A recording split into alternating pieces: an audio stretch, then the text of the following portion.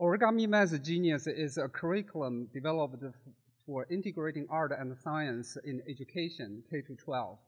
When I look at this beautiful origami art, I thought, oh, this is so elegant, but little did I know it was designed mathematically on the computers.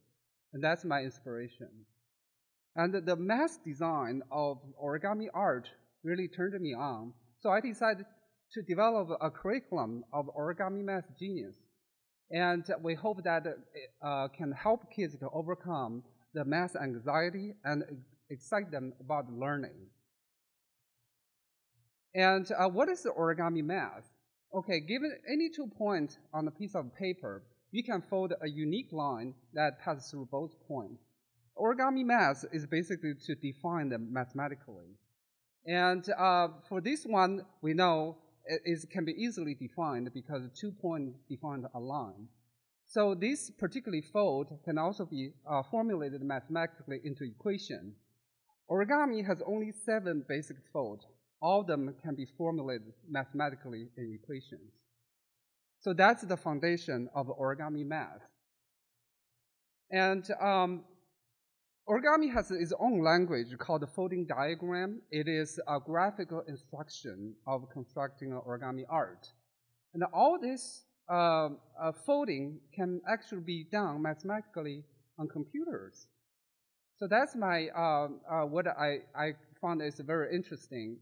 And uh, if you look at this, um, the math folding on the computer, particularly if you look at the, uh, the diagram, it's nothing but a simple math concept such as the geometry and the fraction. So that's nothing difficult beyond a middle school a kid. So origami solves problem too.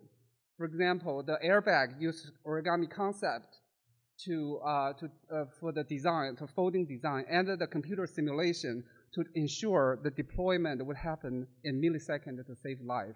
So this is about life and death. Another example is a stent.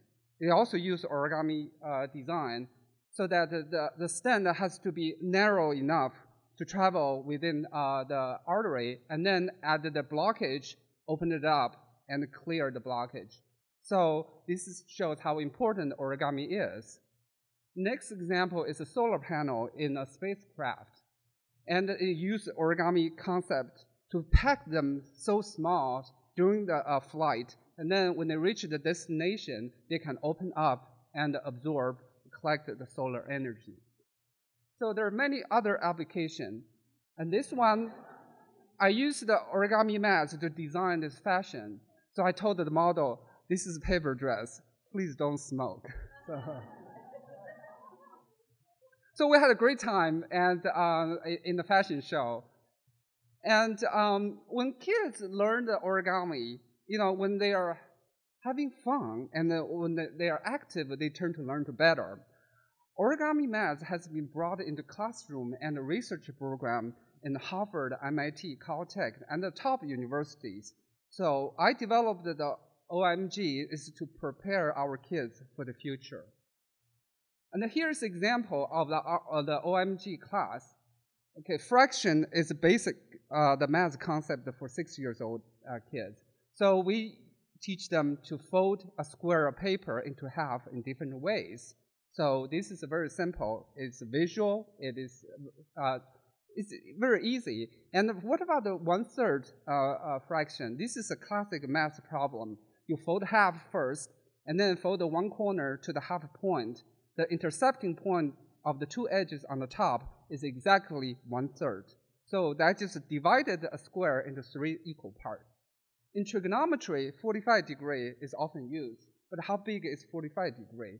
you just fold a square paper into half that reinforces the concept of the fraction, dividing 90 degree into 45 degree. So it's very easy. And what about the 30 degree? For the 30 degree, okay, you fir first fold half in the middle vertically, and then fold another corner to the center line.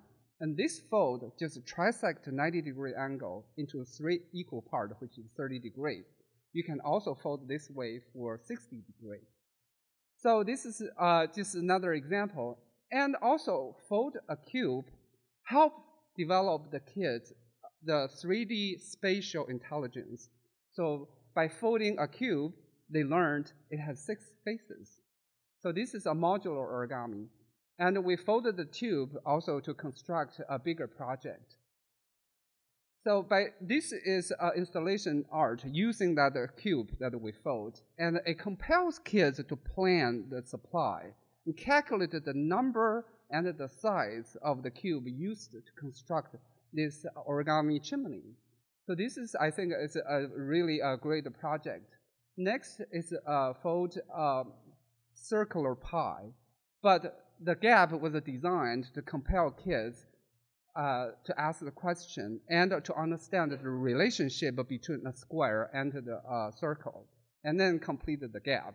So this is just another example.